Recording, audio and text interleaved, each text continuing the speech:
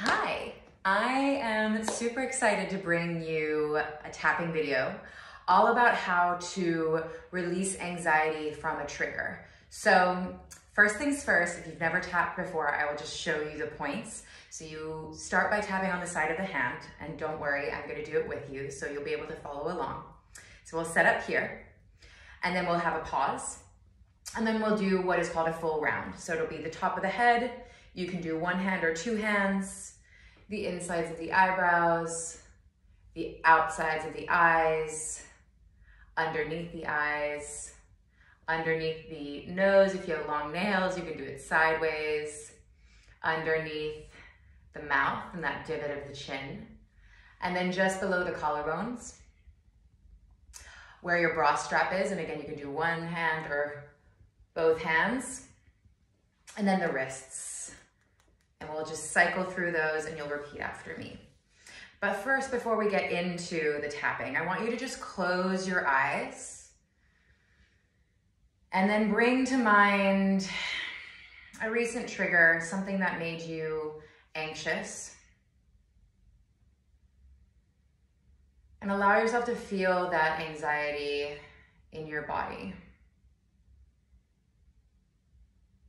And just noticing how the body feels. In tapping, we never are going to bypass feelings. We really want to acknowledge them before we can shift them. All right. then when you feel ready, gently blink the eyes open, maybe a little roll of the shoulders, and then we'll start tapping on the side of the hand and just repeat out loud after me. I got really fucking triggered recently. And it was challenging. It got me feeling really anxious and insert feeling here. And it had me feeling not safe. It sent me back to a childhood experience it sent me back to a time in my life when I was not safe. But the thing is now, I am safe. I'm sitting here tapping on my hand in the privacy of my own home. I'm an adult. And I know that this triggered part of me is my inner child. And my inner child has just been activated by this trigger. And so I'm not going to make her wrong, or them wrong, or him wrong. I'm going to see their hurt, see it as an opportunity to really acknowledge that pain my inner child is still carrying And instead of shaming myself for triggering, being triggered, and instead of repressing the reaction I'm having, I'm going to see it as an opportunity to love on myself even more. An opportunity to love myself more deeply. An opportunity to give my inner child what they didn't get when they were younger. And how fucking cool is it that I have the power to do that now? I get to give myself and my inner child all the things they didn't receive when they were younger. And I know my inner child is in good hands. Because my inner child is in my fucking hands. And so even though I got triggered recently, I still deeply and completely love, accept, and forgive myself. And maybe, just maybe,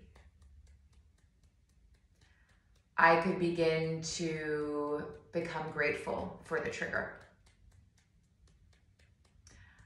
doesn't make whatever happened that triggered me okay. But it does mean I can see how the trigger is an opportunity for me to see what is still hurting. And only by becoming aware of what is hurting can I heal it. So even if that's just dipping my toe in the pool of, of gratitude, I'm ready to do that, to go boop,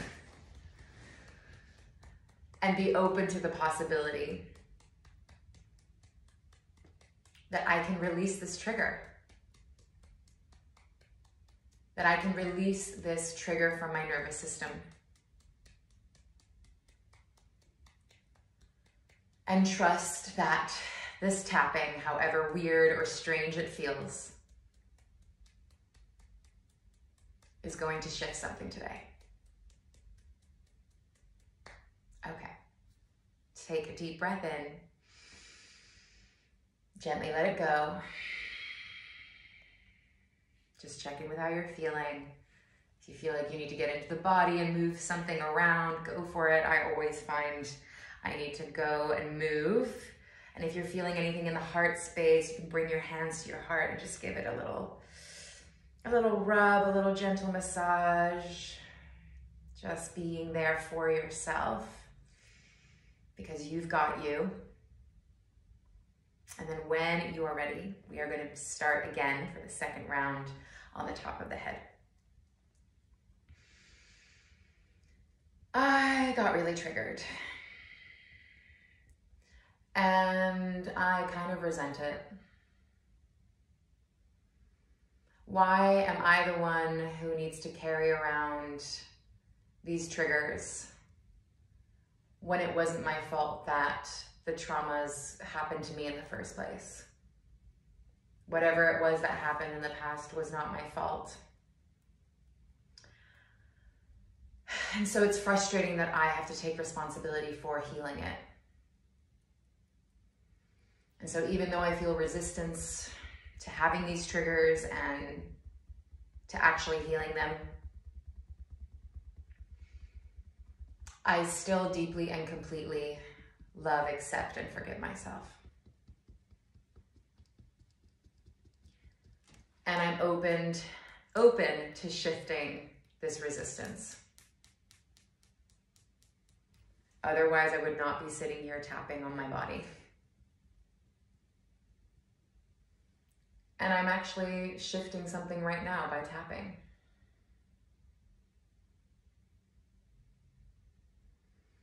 So even though this thing that triggered me activated my anxiety, it activated insert feeling here. I still deeply and completely love, accept, and forgive myself. And I'm ready to fucking release this trigger from my system. I know that the trigger is just there to keep me safe. My body and my system had to react to be on guard, to keep me safe as a child. But I am not a child anymore. So I do not need this trauma response it is safe for me to release this response. It is safe for me to feel safe in my body. Because I have the power to cultivate that safety. I can walk away from a triggering situation. I can self regulate after a triggering situation. and I can learn from each triggering situation. Because I am not a little kid anymore. And so, yeah, it's frustrating that I have this trigger in the first place. But it's really fucking cool that I get to choose what I make it mean. I can't control what the people around me do.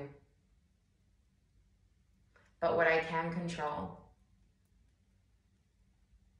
is how I respond. I might not be able to control the reaction, the triggered reaction, but I can control how I respond to that trigger. Do I blame myself and shame myself for being hurt? Or do I see it as a beautiful reminder to love myself harder? To really dial up the self care and dial up the self love. Because I am deserving of healing. I am deserving of love. And I can give myself that love that my inner child so desperately craves. So I'm ready to release this trigger from my body.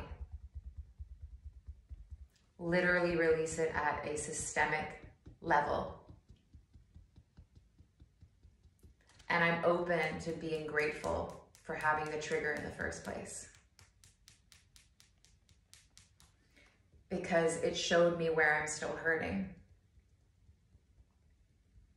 It showed me the cracks that need more love. And I get to love my way into being healed. I can't control when or if I'll be triggered in the future. But I can code it into my brain, quite literally, that whenever I am triggered, I respond with love. And that whenever I'm triggered, I tap it out. Because that is in my power. And I'm fucking grateful for that. I am done shaming my way into repressing emotions. I'm done beating myself up. Because no one ever criticized themselves into healing anyway. And do I really think I'm going to be the first person to do that? Probably not. So I'm ready to release this trigger. Heal on a deeper level. and acknowledge my power to always respond with love and kindness to myself. Okay, take a deep breath in. And sigh it out. I hope this was helpful for you. Please let me know how it landed. If you feel like you need to do it again, please come back to this as much as you need to. The beauty of tapping is that you can never do it too much.